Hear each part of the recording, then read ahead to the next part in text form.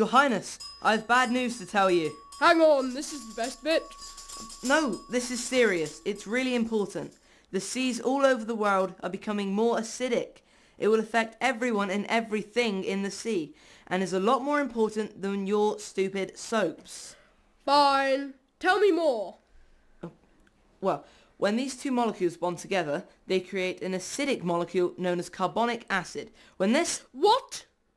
Well, the two main points of this are that the chemical reactions between carbon dioxide and water are causing the acidity of the sea to increase, and the carbonate ions in the sea are decreasing.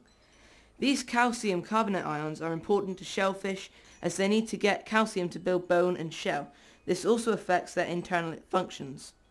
Lots of creatures will starve. As one creature dies, another starves. When this dies, another starves. And when this dies... Silence! What can we do about this? Uh, sir, I'm only a scientist. You must resolve this. Okay, let me find out what's going on around the globe. Turn the television on and switch to CTV.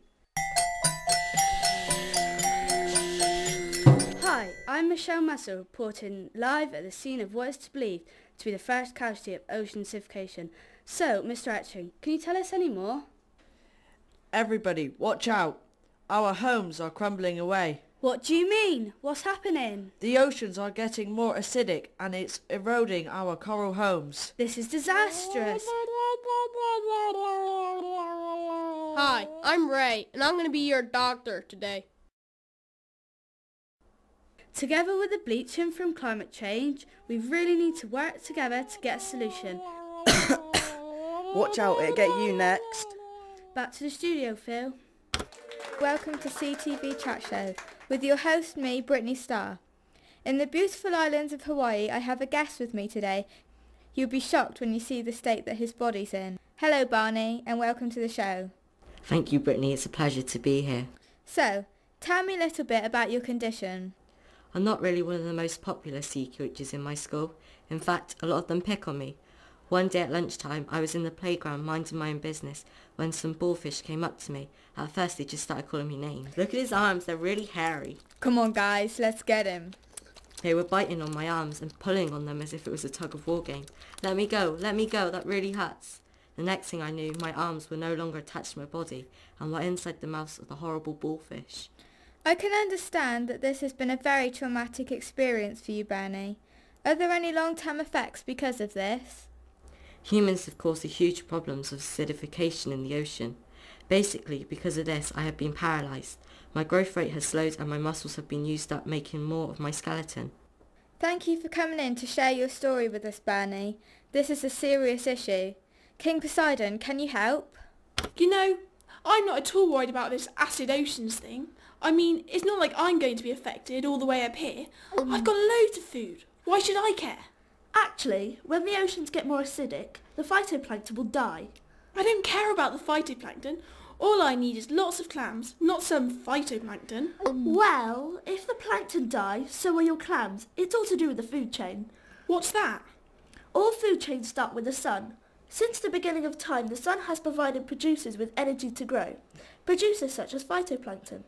The producer in our food chain is Derek the diatom, and he floats around the ocean all day and is food to zooplankton, such as Owen the ostracod.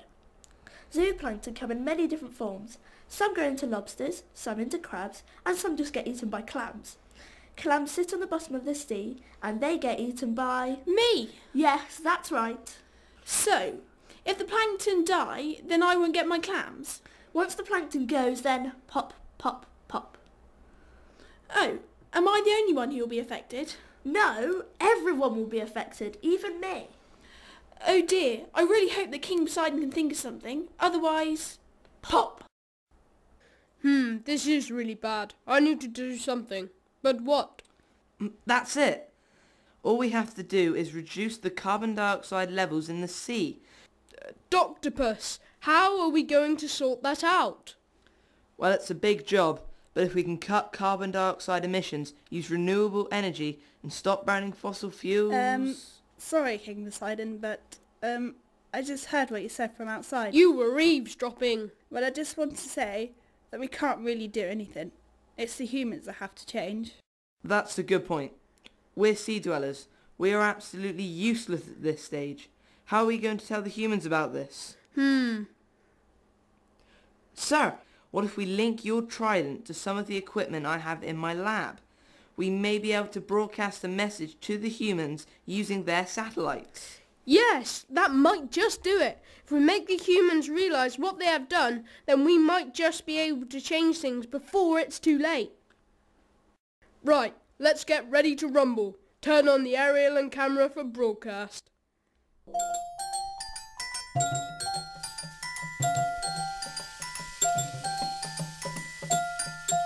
Sir. Attention humans, I am Poseidon, Lord of the Sea. You may not be aware of the problem of rising ocean acidification. Your burning of fossil fuels is causing us and our habitats to suffer. The acidity is rising in the oceans and it is all your fault. The carbon dioxide you are releasing into the atmosphere is being absorbed by the sea. Ever since you have started to build your factories, the extra carbon dioxide entering our seas has caused a 30% increase in acidity. This is a big problem as it dissolves our shells and skeletons, causing us to be more vulnerable.